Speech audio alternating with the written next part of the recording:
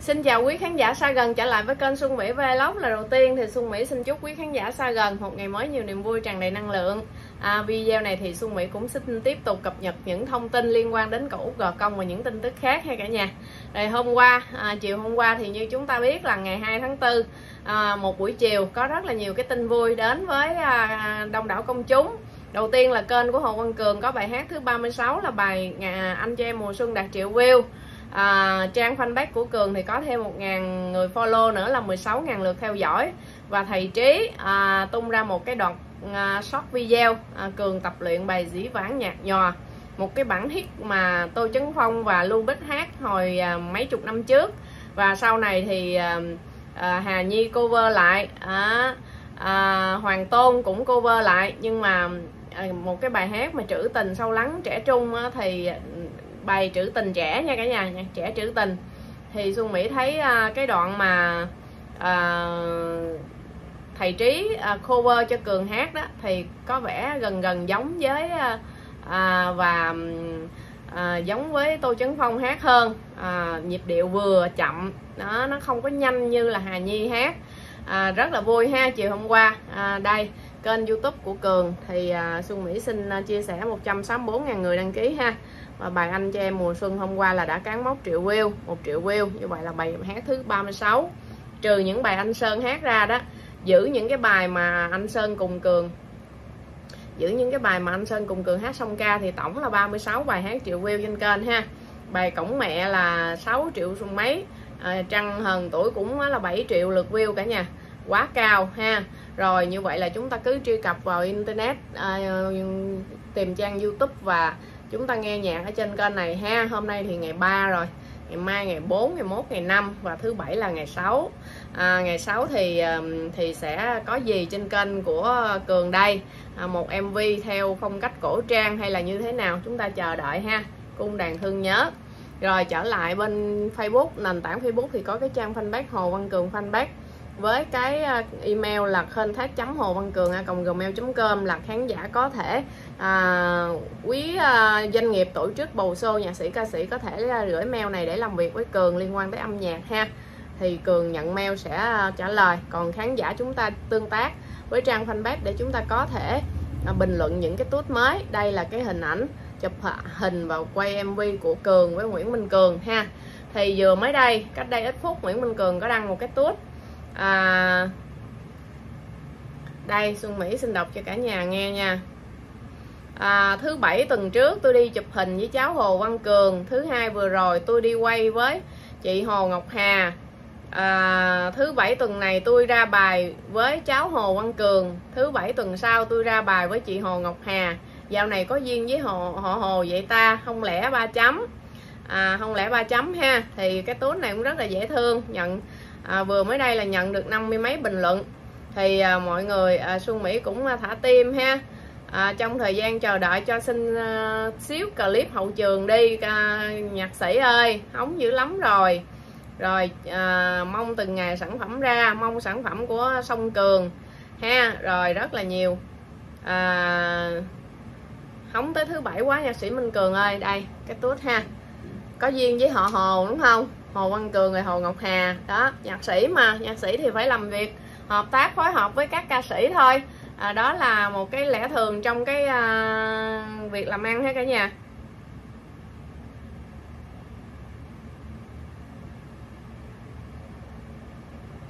À, đó là một cái việc hợp tác à, với cái à, cái cái à, trong giới trong giới với nhau. À, những cái à, những cái nào thuận tiện thì người ta hợp tác thôi. À, cũng giống như à, hồ văn cường. Thấy à, bài hát của nhạc sĩ nguyễn minh cường viết ừ, mình hát phù hợp thì em ấy à, hợp tác. À, rồi đó là cái tuốt mới nhất của nguyễn minh cường ha.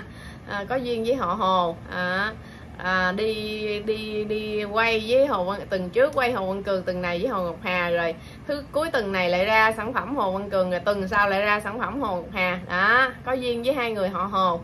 Xuân mỹ cũng hy vọng à, xuân mỹ cũng hy vọng là à, sự hợp tác này sẽ có một cái kết quả lâu dài lâu bền. Cũng giống như sau show chống đồng 8 tháng 3 thì Xuân Mỹ cũng có à, rất mong à, có cái sự hợp tác à, với à, à, ca sĩ Quang Lê.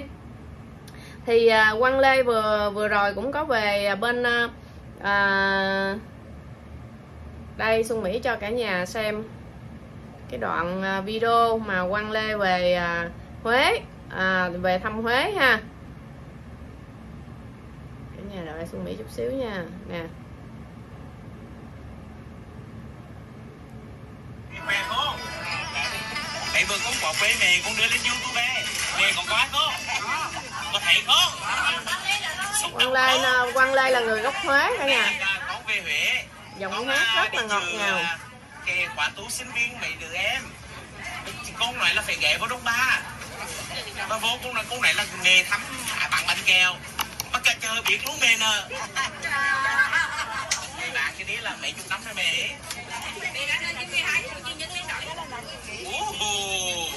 Quang Lê nói giọng Huế nghe dễ thương nha. Nhà khi mà đề bạn từ 12 tuổi là cái hàng uh, tạp hóa ní nì.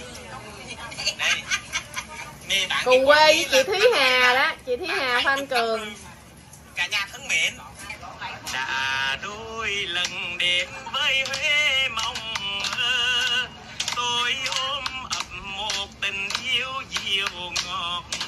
Vẻ đẹp Huế chẳng nơi nào có được nét dịu dàng pha lần trăm tư. Tình yêu từ chiếc nón bài thơ. Từ dòng nỗi âm trầm sâu lặng lại ơi huệ của ta ta tự hào. Vườn quang chiến ca. Hệ khúc hát thanh bình. Cả nước yêu thương, ôm hệ vào lòng sẻ chia đắng cay gian khổ mặn nồng. Hai ba ơi của ta ơi của ta có huệ tự hào. Khúc ba. Huệ khúc hát thanh bình. Nặng lòng với huế xin hát tặng bài ca. gửi tròn tình ta về huệ thương yêu. cả nhà về à, Quang Lê về Quế à, dự một cái khóa tu xong rồi đi chợ Đông Ba.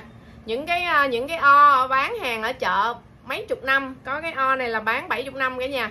Và nhiều người rất là nhiều người nhớ Quang Lê. Và cuối cái video này đó là Quang Lê à, nhờ một cái chị à, bán ghế đá á, à, à, tặng à, mang tặng cho chợ một cái ghế ca sĩ Quang Lê à, tặng chợ Đông Ba. À, và Quang Lê cũng nhắn nhủ là mọi người đến chợ Đông Ba nhớ tìm cái ghế của Quang Lê tặng mà chụp hình ha. À, một cái người sống rất là tình cảm. À, Quang Lê thì thường xuyên bây giờ thì thường xuyên ở Việt Nam và vừa rồi là có à, cái à, show diễn ở Hà Nội ha. Và à, đang đang đi Nhật đang đi Nhật. À, Quang Lê đang đi Nhật. À, à, để coi coi show diễn Hà Nội của Quang Lê là khi nào ha. Thì à, ai mà ủng hộ Quang Lê thì mua vé ngoài Hà Nội đó. À, ủng hộ thì à, đi mua đi mua vé ủng hộ ha. Và Xuân Mỹ cũng trên tinh thần là vậy. À, Xuân Mỹ rất là mong mỏi à, Cường có à, ngày càng có nhiều sự hợp tác với các cái nghệ sĩ nhạc sĩ ca sĩ khác. Ngoài à, anh Sơn anh Sơn Hạ bây giờ là ekip của cô Quyên phải không? Thầy Trí phải không? Nhạc sĩ Nguyễn Minh Cường. Thì hy vọng là có thêm được những cái sự hợp tác khác nữa. Ca sĩ thì hát chung với Quang Lê một lần rồi. Thì à, hy vọng trong tương lai thì sẽ có um, nhiều cái buổi biểu diễn nữa ha cả nhà. Thì à, đó nói về cái sự hợp tác ha. À, nhạc sĩ Nguyễn Minh Cường có cái tốt rất là dễ thương là có duyên với họ Hồ. À, thì hy vọng cái duyên này sẽ được bền vững. Rồi trở lại thì hôm qua à, Minh Trí cũng à, đăng cái tút à, về à, à, sự tập luyện của Cường.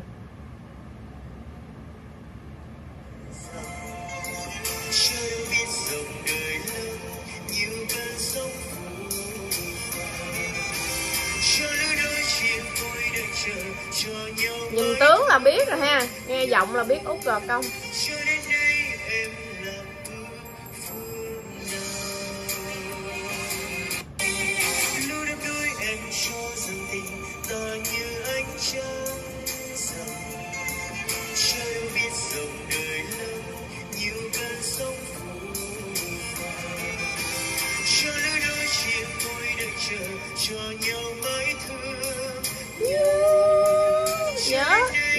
Gió đó cái đó người ta gọi là âm gió đó cả nhà. Âm gió và phát ra từ giọng mũi. Đó à, Xuân Mỹ à, dừng lại dừng lại cái chỗ này. Xuân Mỹ xin chia sẻ thêm. Năm 2023 là Cường được cái à, sự à, sự kết nối à, được sự giới thiệu kết nối của cô Uyên. Cường đi theo thầy Trí học thanh nhạc luyện thanh thêm. À, luyện thanh thêm thì chúng ta thấy từ cái show 1 tháng 7 show 2 tháng 7 ở Hà Nội. Cả nhà thấy một cái diện một cái phong cách mới hoàn toàn liền cả nhà thấy không? À, bắt đầu từ show 1 tháng 7 show tháng 5 thì còn à, hơi um, ờ, cũng hay nhưng mà cái show 2 tháng 7 ở Hà Nội gặp Đại Nam là show xuất sắc. Và Cường lúc đó là Cường hát bài gì cả nhà? Hà Nội mùa vắng những cơn mưa. Hay à, hát với điệm guitar theo phong cách acoustic đó hai người điệm guitar cho Cường hát lần đầu tiên ra sân khấu Hà Nội hát Hà Nội mùa vắng những cơn mưa. Đó là một cái sự bước chuyển. Ai mà à, nhạy thì nhìn ra vào thời điểm đó là bắt đầu cường đã có một cái sự bước chuyển bước chuyển mình thay đổi cái phong cách thay đổi cái dòng nhạc và bắt đầu lấn sân à, lấn sân sang nhạc trẻ. Và sau đó tiếp theo thì sẽ à, thì hát bài tình thôi xót xa đúng không? Rồi một đêm say ngày mai người ta lấy chồng. rồi ra xô Đà Lạt thì hát nước ngoài của Phan Mạnh Quỳnh. Rồi năm qua ta đã làm gì? À, rất là hay ha cả nhà. À, nguyên một năm 2023 là mỗi một tuần học mấy buổi với thầy trí như vậy. À, đã đã được à, cái giọng ca của cường đã được rèn giũa rèn giũa lại được trao chuốt hơn à, mượt mà hơn à, trong cái cách à, ngân nga luyến lái và một vài nghệ sĩ khi mà nghe cường hát ở trên ờ, à, bài ờ, phút cuối ở trên ờ, may cái cha kênh youtube của may sài gòn cũng đã vào nhận xét cường nhã chữ liến lái rất rõ ràng hát bằng chính nội lực bằng chính từ trái tim bằng chính từ phát âm cái lời hát ra bằng chính từ trái tim của mình. À, cho nên là những cái từ những cái câu những cái từ những cái lời hát của cường thấm đẫm sâu vào lòng người. Cho nên hôm qua xuân mỹ mới có một cái à, video mà xuân mỹ đặt tựa. Có thể là bài cung đàn thương nhớ là một cái luồng gió mát à, giải cơn khát sản phẩm mới cho fan. Đúng không cả nhà? Bởi vì từ tết tới giờ thì tính ra cũng 4 tháng rồi. Cường phát hành cái à, bài hát à, à, anh cho em mùa xuân rồi Việt Nam quê hương ngày Tết là cũng là tháng 1 thì giờ tháng 4 rồi. Là hết một quý nên là coi như 3 tháng giống như là à, fan của Cường nghe đã rồi nghe đã đời trong quý 1 là mùa xuân rồi. Hết mùa xuân bây giờ mình chuyển sang tâm khác.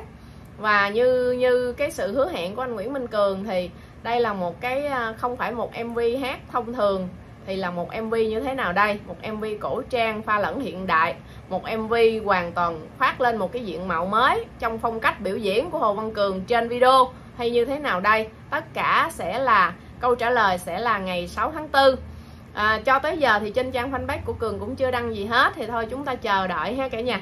À, Xuân Mỹ thì cũng chắc chắn là cũng sẽ giống như mọi người cũng háo hức và chờ đợi. À, và cảm thấy tự hào khi mình lựa chọn một nhân vật mình làm điển hình một nhân vật làm cốt lõi một nhân vật làm cái dòng sự kiện trung tâm dòng cái sự dòng sự kiện trọng tâm cho xuyên suốt cái kênh truyền thông của mình xuyên suốt những cái video của mình ra thì sự kiện của cường là sự kiện trọng tâm. Sau đó là tới những sự kiện khác nghệ sĩ khác à, trường đại học hoa sen tin tức xã hội. Nhưng mà trong suốt à, hồ văn cường là sự kiện sườn. Nó giống như cái sườn cái xương sống cái xương sống cái tinh đinh à, cái sự kiện đinh để cho xuân mỹ chọn làm cái cốt để à, làm cái cái thông tin của mình à, cảm thấy tự hào và rất là vui bởi à, theo dõi sát sau thì mới thấy là cường đã có sự tiến bộ rõ rệt từng ngày từng ngày. Cả nhà. À, trong tháng tư này thì à, à, cường cũng như các bạn sẽ à, à, tập trung ôn dần ôn dần à, những cái môn à, chuẩn bị thi học kỳ 2 ha. Lễ 30 tháng 4 xong rồi các bạn ấy sẽ bước vào thi học kỳ 2 bây giờ thì Xuân Mỹ chuyển sang tin đại học Hoa Sen nha.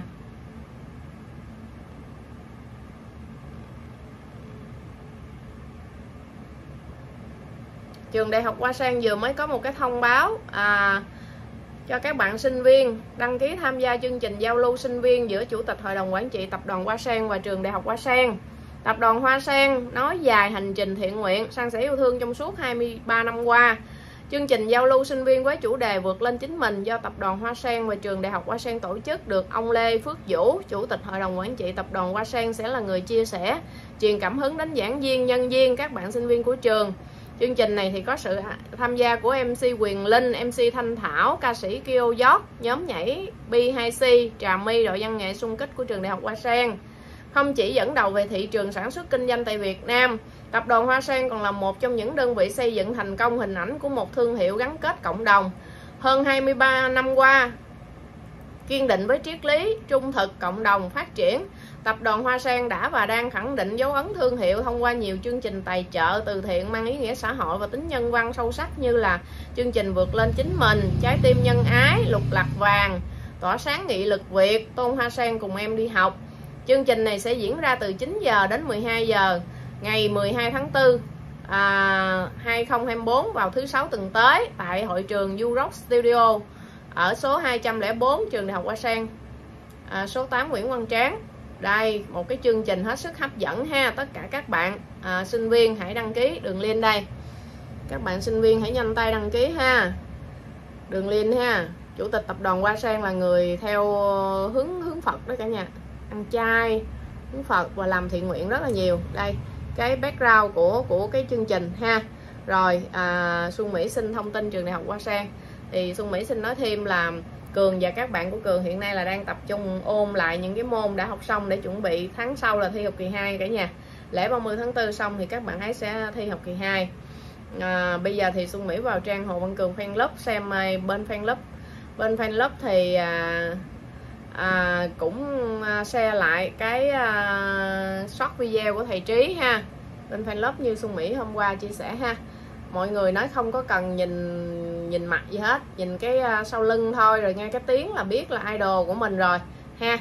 Nghe à, rồi ở đây chúc mừng à, xanh đột chuối à, gia đình xanh đột chuối tuyệt vời anh cho em mùa xuân đã đạt triệu view rồi. Tuy có chậm rồi có một khán giả cũng đăng bà ngoại ở gò công một khán giả à, đến từ à, hôm chương trình cường à, hát ở gò công này cả nhà. Đây đăng lại ha tấm hình à, bà lên rồi chúc mừng anh cho em mùa xuân đạt triệu view.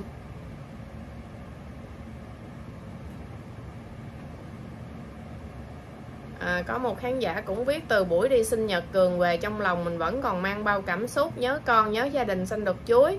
Mình lại mang những hình ảnh mình ghi lại được trong đêm sinh nhật của con. Mình khoe với cả nhà nhé. À, yêu gia đình xanh đột chuối. Đây. Một khán giả ở miền Bắc. Nè đăng lại hình của ờ, khán giả luôn ủng hộ cháu Cường mong cháu thành đạt.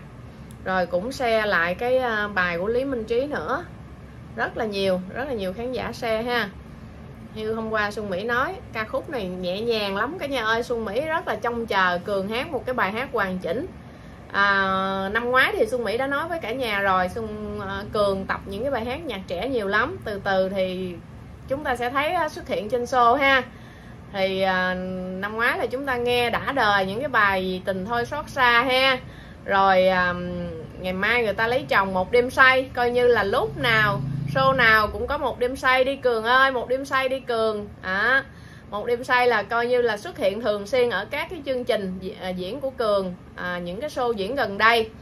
Và à, xuân mỹ à, hôm trước thì xuân mỹ cũng nói với mọi người rồi đi xem show thực tế một lần nghe ha cường hát live thì sẽ nghiện chắc chắn. Xuân mỹ đi năm show rồi. Thành ra là à, cảm thấy là sao cả nhà? À, nghiện hơn nghiện hơn. Và vì cái điều kiện hoàn cảnh cá nhân của mình cho nên là mình không có đi xô thường thôi. Chứ thật ra là ai cũng vậy. Làm à, Xuân Mỹ nghĩ là ai cũng mong muốn đi show của Cường. Thực tế á thực tế không chỉ là cái không khí gần gần rần rần uh, fan của Cường đâu mà còn muốn đó là một lần à, một lần chạm mặt Cường và lắng tai lắng tai nghe trực tiếp Cường hát live. À, hay cỡ nào để về giữ ở trong cái lòng mình cảm xúc ngày đi show nó như thế nào ha? Lực lượng fan của cường phát triển hùng hậu như lâu nay xuân mỹ nói rồi. À, thì à, chúng ta hãy giữ chúng ta hãy giữ cái sự hùng hậu đó và chúng ta hãy trân quý những cái gì mà chúng ta có từ những cái người xa lạ. Chỉ vì cảm mến một ca sĩ một chàng trai trẻ một ca sĩ có cái xuất thân từ miền quê gò công tây có cái chất giọng dân ca ngọt ngào lãnh lót từ những năm 2016 cho đến giờ thì là trầm ấm à, ngọt ngào tình cảm. À, và chúng ta từ khắp muôn nơi chúng ta tụ họp về một show diễn. Chúng ta gặp nhau có ba bốn tiếng đồng hồ. À, thì chúng ta có những người trở thành ban đầu kết kết giao bạn bè nhưng sau đó ờ, thấy không hợp thì tự rời đi. Thì có những người trở thành những người thân thiết à, có những người trở thành à, fan của nhau à, có những người à, trao đổi à, hàng hóa cho nhau. Đó là một cái sự kết giao trong xã hội bình thường ha cả nhà. Cái đó không không có không có thể nào mà nói được. Một cái sự phát triển trong tất cả các mối quan hệ trong các mối băng giao là bình thường cho nên chúng ta hãy giữ chúng ta hãy giữ những cái điều tốt đẹp đó. Rồi sẵn đây xuân mỹ cũng xin nói lên nói thêm à, chúng ta đu idol idol của chúng ta là ca sĩ. Chúng ta hãy dừng lại ở giải trí thôi. Tức là dừng lại ở cái mức giải trí. Chúng ta đừng có nặng đi nặng đặt nặng sâu những cái chuyện à, khác nó nặng nề ra nó làm nó trở nên cho cái việc đu idol của chúng ta nó nặng nề. Thì không nên. Và nhất là chúng ta đi vào đi sâu vào cái khai thác đời tư của người này người kia. Chúng ta à, nói sâu chúng ta nói sâu về đời tư. Xuân Mỹ ví dụ như Xuân Mỹ. Thì mọi người biết Xuân Mỹ trên kênh là kênh Xuân Mỹ Vlog. Xuân Mỹ là người làm truyền thông chia sẻ thông tin của Cường. À, hoàn cảnh gia đình của Xuân Mỹ thì mọi người chưa có biết hết chưa biết sâu đâu. Thành ra là khi trong trong những cái câu chuyện chúng ta ở kênh này kênh kia chúng ta nói với nhau chúng ta hạn chế đề cập tới đời tư của Xuân Mỹ đi.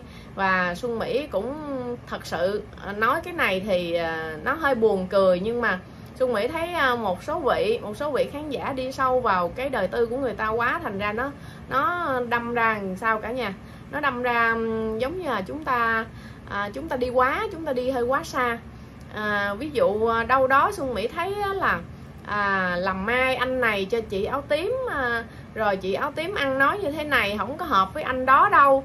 À, dạ à, Xuân Mỹ xin cảm ơn cái chuyện đó à, mọi người hãy đeo đuổi cường đi. Mọi người hãy chia sẻ những thông tin về cường. Mọi người thích cường hát bài gì?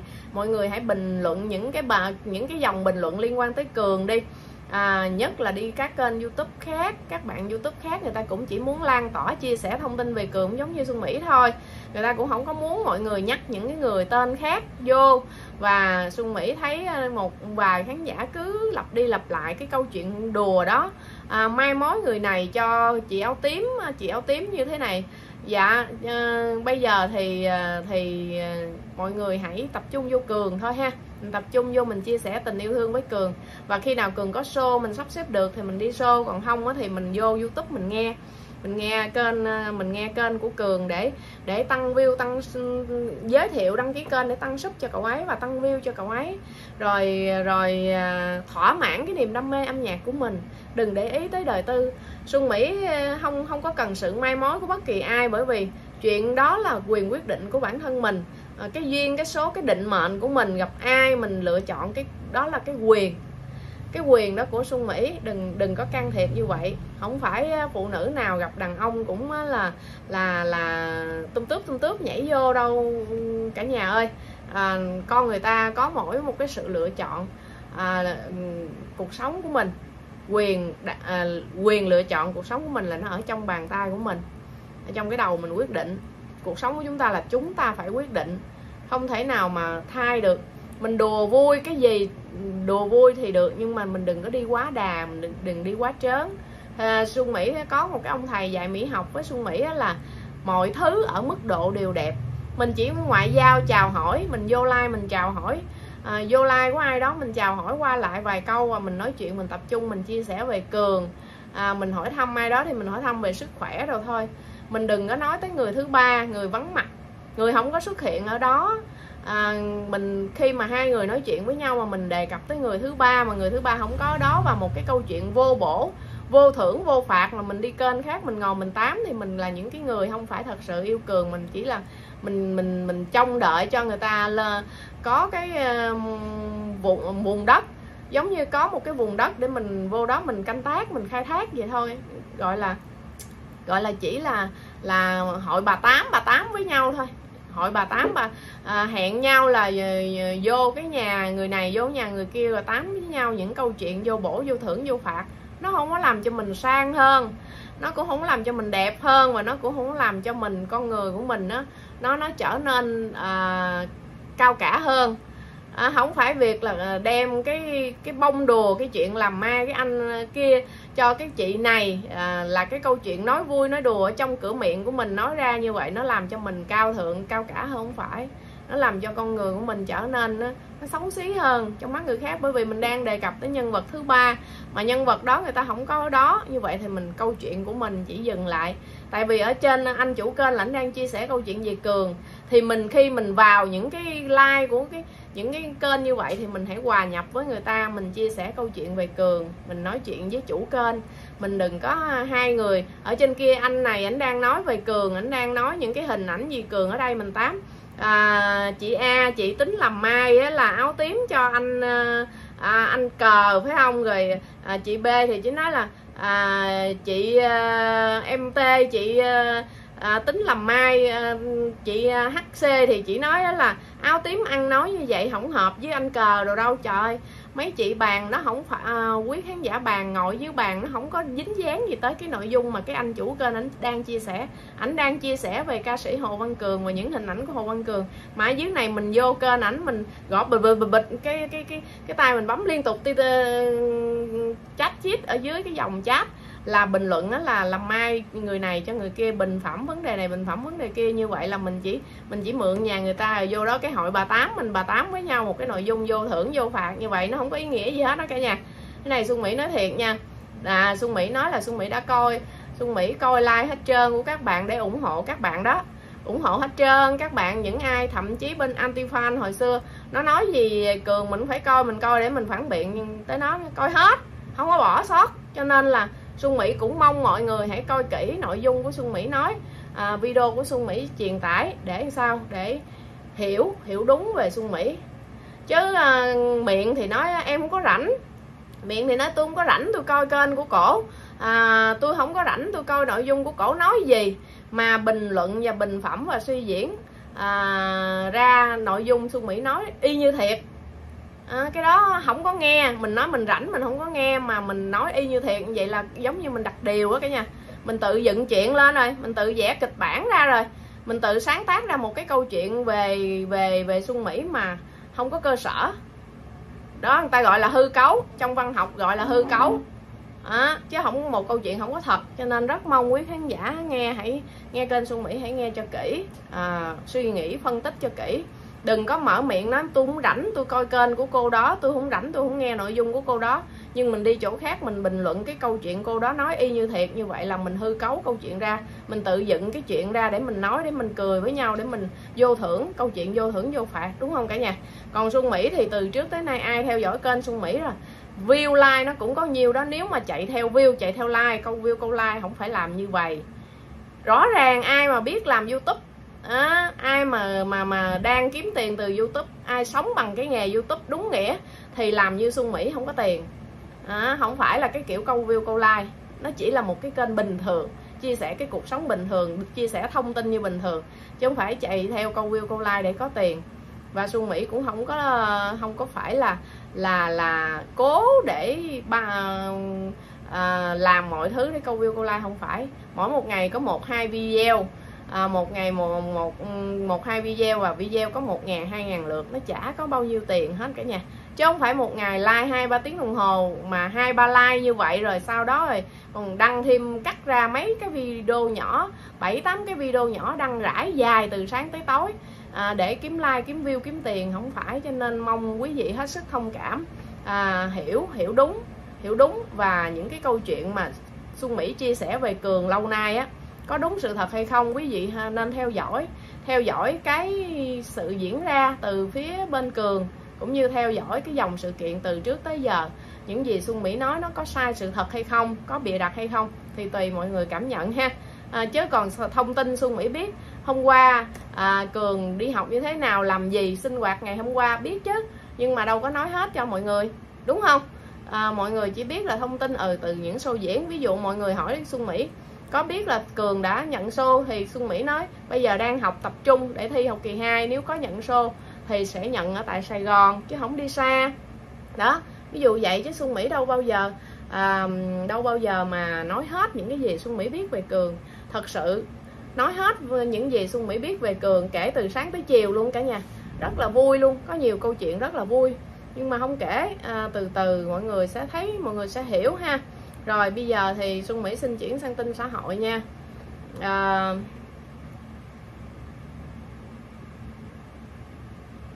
chia sẻ thêm một chút xíu à, về cái cảm xúc của mình liên quan đến những cái câu chuyện vô bổ vô phạt à, của của mọi người khi đi kênh khác ha. Liên quan đến à, vụ phúc thẩm của bà Nguyễn Phương Hằng thì báo pháp luật thành phố Hồ Chí Minh đăng như thế này. À, theo nguồn tin của báo pháp luật chiều hôm qua ngày 2 tháng 4 thì à, bà Nguyễn Phương Hằng được trích xuất từ nơi thi hành án về trại tạm giam Chí Hòa công an thành phố Hồ Chí Minh để phục vụ cho công tác xét xử phiên phúc thẩm vào ngày 4 ngày 5 tháng 4 tới đây. À, do thẩm phán à, Phan Đức Phương làm chủ tọa. Trước đó thì chiều 11 tháng 3 tòa án cấp cao thành phố Hồ Chí Minh đã quản phiên phúc thẩm vụ án bà Nguyễn Phương Hằng và đồng phạm. Dù không kháng cáo sơ án sơ thẩm bà Hằng vẫn được triệu tập đến tòa. Tuy nhiên bà đã à, đi chấp hành án 3 năm tù tại một trạm trại tạm giam trên địa bàn Bình Dương và có đơn xin xét vắng mặt. Nhưng mà tòa phúc thẩm vẫn à, à, triệu tập và bây giờ là được ờ, được đưa trích xuất tức là giống như Di. Di à, thay vì là chịu thụ án ở Bình Dương thì bây giờ là tạm thời công an đưa bà về trại giam Chí Hòa ở thành phố Hồ Chí Minh để đưa cái ngày xét xử đưa ra cho tiện đó cả nhà đưa ra tòa xét xử cho tiện sau đó chạ, đưa trở về trại giam ở Bình Dương để thụ án tiếp. Và đây là hình ảnh xử bà Hằng hồi tháng 3 nè. À, hồi hồi hồi tháng 9 tháng 9 2023 đó à, trong vụ này thì có Đào Anh Quân Nguyễn Thị Mai Nhi Lê Thị à, Hà Nhi Lê Thị Thu Hà và Quỳnh Công Tân là à, kháng án. Kháng án Ông bà Hằng thì chấp à, nhận hình phạt 3 năm tù đó là liên quan đến vụ án của bà Hằng ha. Rồi Xuân Mỹ xin chia sẻ một cái tin ở ờ, xảy tin này xảy ra ở Quảng Nam. Trước đó thì vào khoảng 8 giờ 15 phút sáng 2 tháng 4 tại ờ, khu phố Câu Hà phường Điện Ngọc thị xã Điện Bàn tỉnh Quảng Nam người dân phát hiện ông Tịnh 47 tuổi à, và con trai tên Nguyễn Văn Phong 1 tuổi à, đăng xuất ngay sau khi phát hiện vụ việc thì hai cha con được đưa đi cấp cứu. Tuy nhiên cả hai đã xác định đăng xuất trước đó rồi.